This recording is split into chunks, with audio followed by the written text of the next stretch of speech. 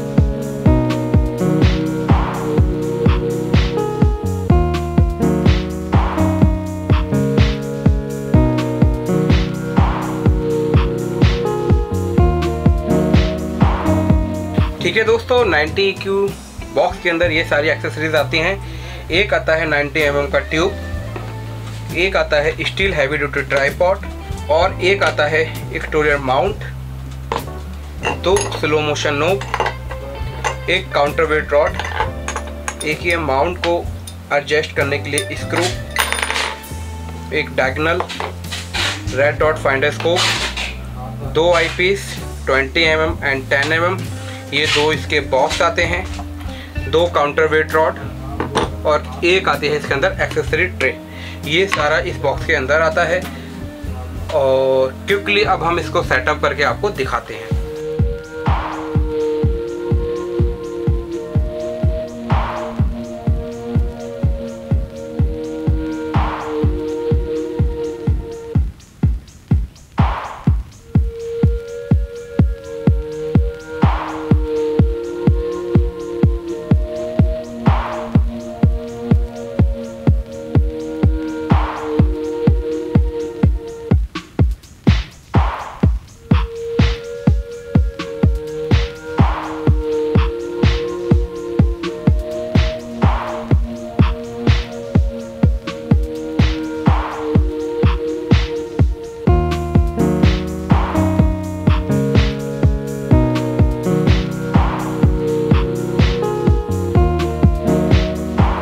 Setup है fast move में आपने देख लिया, मैं एक बार डिटेल में समझा देता हूँ। सबसे पहले जो हमारा ट्राईपॉड है, इसके तीनों लेग खोलने हैं। लेग खोलने के बाद इसके ऊपर एक्सेसरी ट्रे लगाना है, जिससे ट्राईपॉड भी बैलेंस बन जाता है और जो आपकी एक्सेसरीज हैं आई वगैरह, वो इसके ऊपर कैरी कर सकते हैं।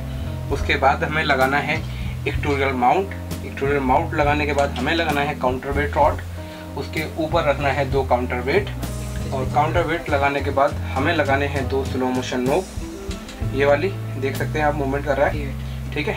तो ये है स्लो मोशन नोब तो उसके बाद हमें रखना है अपना ट्यूब और ट्यूब लगाने के बाद हमारा ऑलमोस्ट तैयार हो जाता है टेलीस्कोप और ये है रेड डॉट फाइंडोस्कोप इसको आप यहाँ पे लगा लेंगे। और रेड डॉट फाइंडोस्कोप लगाने के बाद फिर हमें लगाना होता है अपना डायगनल तो डायगनल के आगे पीछे दो डस्ट कैब हैं। इसे रिमूव करना है। यहाँ पे भी एक डस्ट कैब है।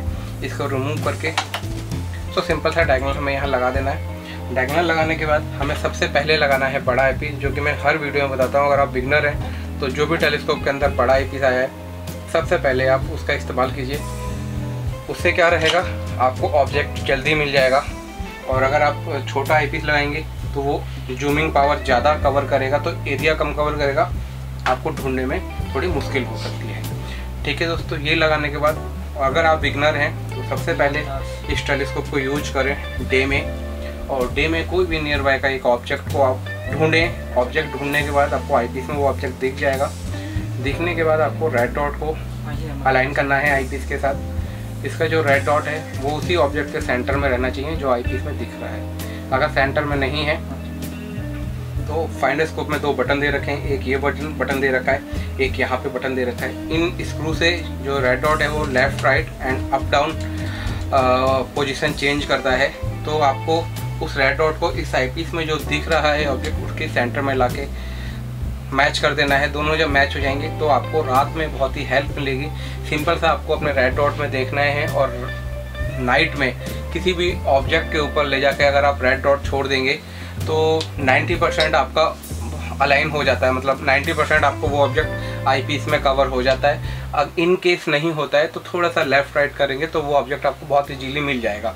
बट ये आप डे में कर लें नाइट में करेंगे तो आपको बहुत प्रॉब्लम आएगी। ठीक है? इसी प्रकार से, और ये है इसका फोक्सिंग नोब और जैसा कि मैं आपको एक बार दोबारा बता देता हूँ, इसका जो अपर्चर है, वो 90 एम mm का अपर्चर है। ई क्यू माउंट में ये टेलीस्कोप आता है। फोकल लेंथ जो है, इसकी वो थाउज़ेंड एम mm है। काफ़ी पावरफुल टेलीस्कोप है ये। दो आईपीस आते हैं जो कंटिन्यूसली आप यूज़ कर सकते हैं 20 एम mm और 10 एम mm का। और दोस्तों, एक चीज़ बताना भूल गया मैं, अगर आप आस्ट्रो फोटोग्राफर हैं तो आप इसमें डायरेक्ट डीएसएलआर भी लगा सकते हैं। तो सिंपल सा यहाँ पे टी थ्रेड दे रखा है। यहाँ पे इस प्रकार से ये जो टीरिंग है, वो आप अपने डीएसएलआर में लगाएँगे। और डीएसएलआर में लगाने के बाद ये पोजीशन जो है, वो यहाँ पे आपका डीएसएलआर कनेक्ट हो जाएगा। तो आप आस्ट्रो फोटोग्राफी यहाँ से कर सकते हैं। टी अडेप्टर की एडिशनल खरीदने की कोई ज़रूरत नहीं है। खाली आपको एक टी रिंग परचेज करना है, जो कि आपको हमारे पास मिल जाएगा अगर आपको कहीं लोकल मार्केट में नहीं मिलता है तो।